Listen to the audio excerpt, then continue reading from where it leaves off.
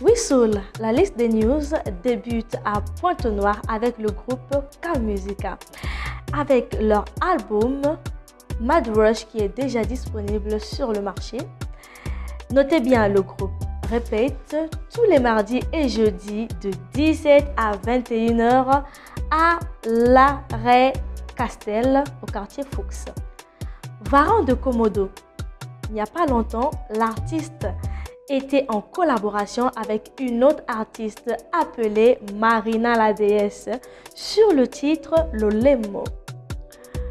L'artiste Harley Jordan, qui est en studio pour l'enregistrement de son album intitulé Sens du devoir.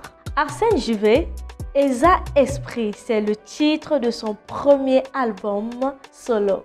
Et enfin, Teddy Benzo qui nous revient encore avec un nouveau single intitulé Colo qui est déjà disponible sur le marché. Du côté de Brazzaville, nous avons l'artiste Roga Roga après sa prestation à Bangui.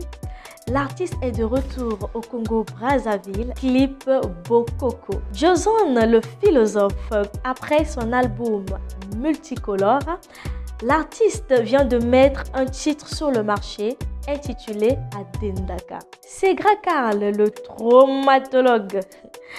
Son maxi-single École d'amour est déjà disponible. Extra Musica, Nouvelle Horizon, le titre Yapolo, extrait de l'album Vision, est déjà disponible. Et le groupe sera en France pour un concert d'ici peu.